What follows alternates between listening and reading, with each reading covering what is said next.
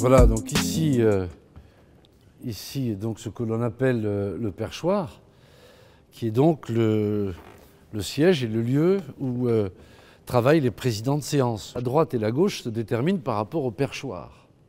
Donc, il faut regarder dans cette position. Ici est donc la gauche, et donc ici est la droite. Et au fond, euh, plus on est à gauche, plus on est là-bas, et plus on est à droite, plus on est là-bas. Voilà.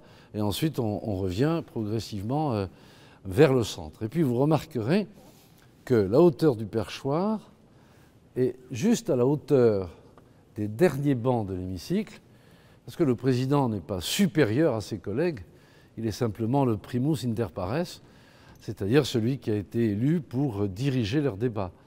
Mais il n'a pas d'autorité hiérarchique euh, sur, euh, euh, sur les collègues. Je l'ai jamais utilisé.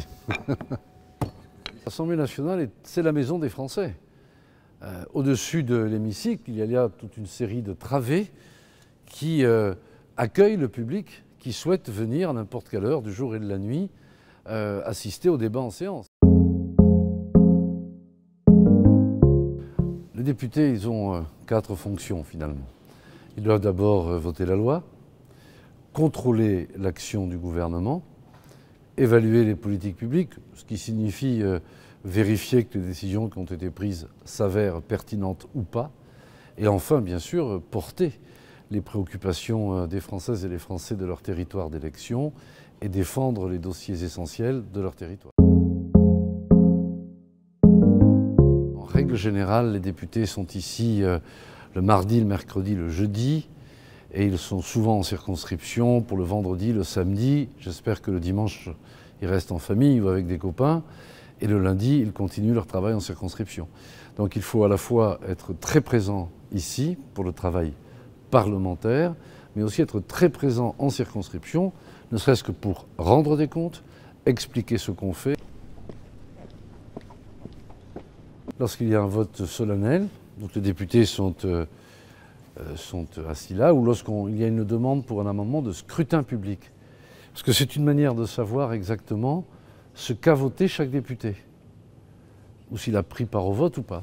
Et donc ici, il y a trois boutons qui sont très simples, euh, pour, contre, abstention. Alors souvent, euh, on pense que l'hémicycle est vide parce que les députés auraient piscine. Ce n'est pas le cas. Parce que les députés, quand ils sont à Paris, ils passent beaucoup de temps dans le travail en commission. Ce n'est qu'une partie d'entre eux qui sont dans l'hémicycle pour euh, débattre d'un texte issu de la commission à laquelle ils appartiennent. Je cogne comme ça. Donc ça, c'est un instrument, si je puis dire, pour rappeler, rappeler euh, au calme et permettre aux orateurs de s'exprimer. Il n'y a rien de plus désagréable que d'avoir un député qui défend une position et qui, dont la voix est couverte par le bruit des autres, ou même un ministre qui se fait euh, houspiller ou autre. Merci.